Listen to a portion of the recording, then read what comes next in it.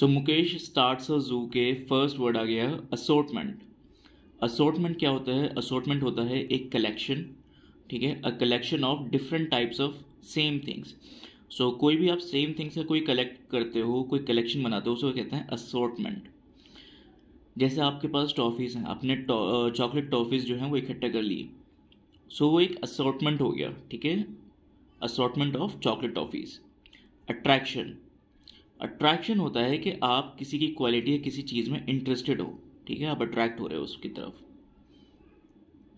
Chants chants होते हैं religious songs जैसे कोई भी चीज़ गुनगुनाना बार बार दोहराना, ठीक है? जैसे भजन गाते हैं, और नात होती है, और यहाँ पे गुरुद्वारे में जो है गुरबानी होती है, सो ये सारी चीज़ होती हैं chants next word is compartment compartment क्या होता है? कंपार्टमेंट होता है सेपरेट सेक्शन ठीक है? एक अलग अलग आपने कंपार्टमेंट बना दी हैं। किसी कमरे में एक आपने अलग अलग कंपार्टमेंट बना दिए जहाँ पे आपका सामान रखा जा सके।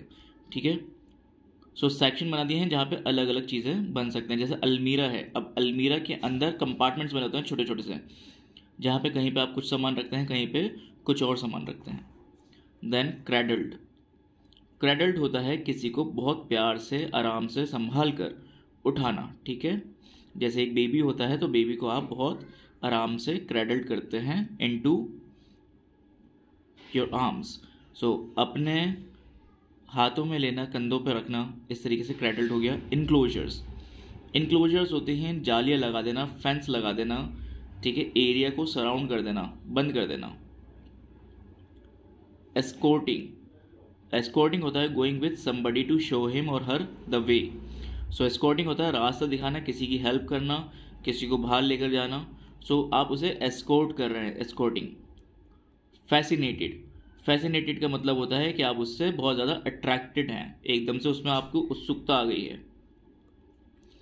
फ्लिप्ड फ्लिप्ड होता है कि एकदम से पलट जाना या फिर खुल जाना। ठीक है? फ्रस्ट्रेटेड फ्रस्ट्रेटेड हो गया कि आप बहुत ज़्यादा परेशान हैं और एनॉयड हैं। फस फस होता है एक अननेसेसरी एक्साइटमेंट या फिर एक्टिविटी गेजिंग गेजिंग हो गया घूरना, बहुत देर तक देखना। पौड पौड हो गया, पो जो होते हैं, वो होते हैं पंजे। ठीक है, जानवरों के पंजों को पो कहा जाता है। और इसी से बन जाता है the dog pod at the back door so dog जो है वो पीछे की तरफ़ से अपने दरवाजे से अपने पंजे बार बार मार रहा है जैसे।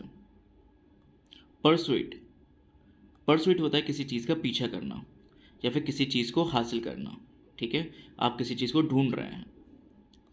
रिसाइट रिसाइट मीन्स दोहराना। रेस्क्यू रेस्क्यू मीन्स किसी की जान बचा देना। स्कैटरिंग स्कैटरिंग होता है, फैल जाना किसी चीज़ का, गिर के फैल गए, जैसे मोती गिर गए और फैल गए सो स्कैटर्ड हो गए। श्रिकिंग श्रिकिंग होता है, बहुत तेज़ चीख निकल जाती है, जैसे एकदम से शॉक में या फिर दर्द में। स्नैप एकदम झटके से, ठीक है स्नैप अनअवेयर जिसका आपको पता ना हो, ठीक है, जिसकी आपको मालूम ना हो।